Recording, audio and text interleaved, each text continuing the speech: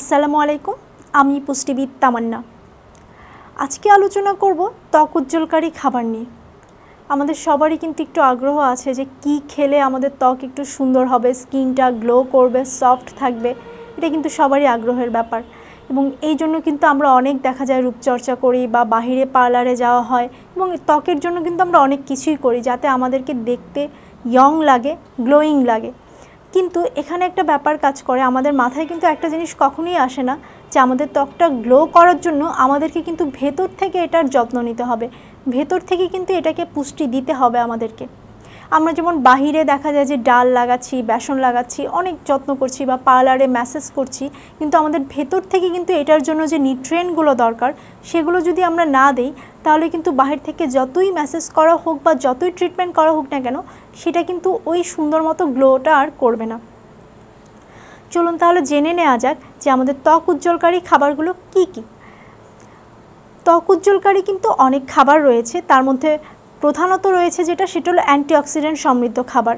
আমাদের খাবার তালিকায় যদি আমরা অ্যান্টিঅক্সিডেন্ট সমৃদ্ধ খাবারগুলো রাখি, তাহলে সহজেই আমাদের যে কোলাজেনটা, নতুন কোলাজেন তৈরি হবে ত্বকে বলিরেখা দূর হবে এবং স্কিনটা কিন্তু সফট এবং গ্লো করবে। এখন এই অ্যান্টিঅক্সিডেন্টগুলো আসলে কিসে পাওয়া যায়? যেমন আপনাকে সহজভাবে যদি বোঝানোর জন্য বলি যে, আমাদের আশেপাশে যে আপনি কালারফুল যে ভেজিটেবলস যেগুলো আছে গ্রিন সবজি মানে ভেজিটেবলস যেগুলো আছে, সেগুলোই কিন্তু আপনার অ্যান্টিঅক্সিডেন্ট সমৃদ্ধ। যেমন একটু যদি বলা যায় যে আমাদের গাজর বা টমেটো যেটা রয়েছে, এটা কিন্তু অ্যান্টিঅক্সিডেন্ট সমৃদ্ধ খাবার। টমেটোতে যে লাইকোপিন আছে, সেটা কিন্তু আপনার শরীরে বা আপনার স্কিনে কোলাজেন তৈরি করতে সাহায্য করে এবং আপনার স্কিনটা গ্লো করতে অনেক হেল্প করবে। প্রতিদিন খাবার তালিকায় আমরা যেমন টমেটো রয়েছে, গাজর রয়েছে বা ক্যাপসিকাম এটা গ্রিন ভেজিটেবলস এবং এটা কিন্তু সালাদ হিসেবে খুবই জনপ্রিয়। আমরা যদি এই খাবারগুলো হলো আমাদের খাবার তালিকায় রাখি, তাহলে কিন্তু আমাদের স্কিনের জন্য এগুলো খুবই উপকারী। এরপরে আসা যাক আমাদের ফ্যাটি ফিশ বা ওমেগা থ্রিযুক্ত মাছ, যেটা বলি আমরা সামুদ্রিক মাছ, এগুলো কিন্তু আমাদের খাবার তালিকায় অবশ্যই রাখতে হবে। কারণ একমাত্র ওমেগা থ্রি সরাসরি যে সোর্স সেটা কিন্তু আমাদের সামুদ্রিক মাছে পাওয়া যায়। পাশাপাশি এটাতে ভিটামিন ডি ভিটামিন ই এগুলোও কিন্তু রয়েছে। তো সামুদ্রিক মাছটা দেখা যায় যে আমাদের দেশে খুবই কম খাওয়া হয়। আমাদের অন্তত সপ্তাহে এক থেকে দিন আমাদের সামুদ্রিক মাছ আমাদের খাবার তালিকায় রাখতে হবে, যেগুলো অ্যাভেলেবেল যেমন আপনার টুনা রূপচাঁদা স্যামন ম্যাকরেল এগুলোও ভালো সোর্স কিন্তু স্যামন বা ম্যাকরেলটা হয়তো খুব একটা পাওয়া যায় না আমাদের দেশে। কিন্তু টুনা বা রূপচাঁদা দিয়েও কিন্তু আপনি ওমেগা থ্রির ডিমান্ডটা ফিল আপ করতে পারেন। তারপরে আসা যাক যে আপনার আরেকটা সাইট্রাস ফ্রুটস যেগুলো আছে মানে টক জাতীয় ফল, যেটার মধ্যে প্রথমেই নাম চলে আসবে লেবুর কথা। লেবুটা যদি আমরা খাই, আপনি যদি আপনার খাবার তালিকায় প্রতিদিন লেবু রাখেন, কিংবা সকালবেলা যদি একটু কুসুম গরম জলে আপনি যদি দুই চামচ লেবুর রস পান করেন, তাহলে কিন্তু আপনার স্কিনে যে বলি রেখা সেটা কিন্তু সহজেই দূর হয়ে যায় এবং স্কিনটাও খুব গ্লো করতে থাকে। এরপরে আসা যাক ফ্রুটসের ব্যাপারে, আমরা ফলের ব্যাপারে যদি বলি, তাহলে সেক্ষেত্রে আপনার যে কিছু ফ্রুটস রয়েছে, যেটা আগেই বললাম সাইট্রাস ফ্রুটস আপনার সিজনাল যে ফল যেগুলো আমাদের পাওয়া যায়, সেগুলো আমাদের ত্বকের জন্য খুব ভালো, কারণ এগুলোতে ভিটামিন সি থাকে।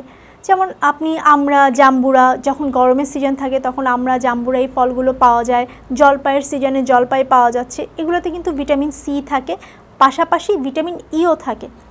যেগুলো কিন্তু সহজেই আপনার স্কিনের কোলাজেন তৈরি করতে সাহায্য করবে।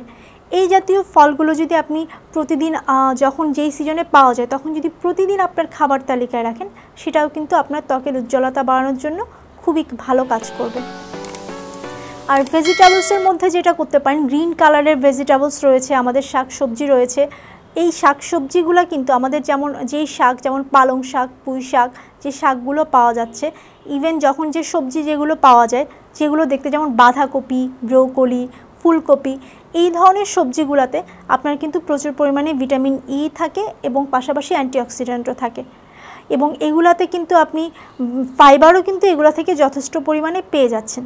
তো এই ধরনের সবজিগুলো যখন আপনি যেই সিজনে পাওয়া যাবে, সেই সময়টাতে রাখবেন, তখন কিন্তু সেটা আপনার ত্বকের জন্য উপকারী। তারপর আরেকটা গুরুত্বপূর্ণ উপাদান হলো বাদাম। এবং বাদামের মধ্যে কাঠবাদাম যেটা, এটা কিন্তু আমাদের ত্বকের জন্য খুবই ভালো এবং এটা কিন্তু খুবই ভিটামিন ই সমৃদ্ধ একটা খাবার। সাধারণত আমরা বলি যে ৩০ বছর পূর্ণ হলে বা তিরিশের পরে অন্তত প্রতিদিন খাবার তালিকায় চার থেকে পাঁচটা বাদাম আপনার রাখা উচিত। ছোটবেলা থেকেই যদি আমরা বাচ্চাদের মধ্যে বাদাম খাওয়ার অভ্যাসটা গড়ে তুলি এবং সেটা কখনোই অতিরিক্ত মাত্রায় না, সেটা তার জন্য পরিমিত পর্যায়ে যদি খাওয়ার অভ্যাস করে, তাহলে এতে যেরকম তার ত্বক সুন্দর হবে পাশাপাশি কিন্তু তার রোগ প্রতিরোধ ক্ষমতা বাড়বে। কারণ আমরা জানি যে অ্যান্টিঅক্সিডেন্ট সমৃদ্ধ খাবারগুলো কিন্তু আপনার রোগ প্রতিরোধ বাড়ায়। রোগ প্রতিরোধ ক্ষমতা বাড়ানোর পাশাপাশি স্কিনটাও আপনার সুন্দর করবে। তাহলে খুব সহজেই আমাদের জেনে নেওয়া গেলো যে কী ধরনের খাবার আমাদের খাবার তালিকায় যদি আমরা রাখি, তাহলে আমরা আমাদের ত্বকের উজ্জ্বলতা বাড়াতে পারব। ধন্যবাদ সবাইকে।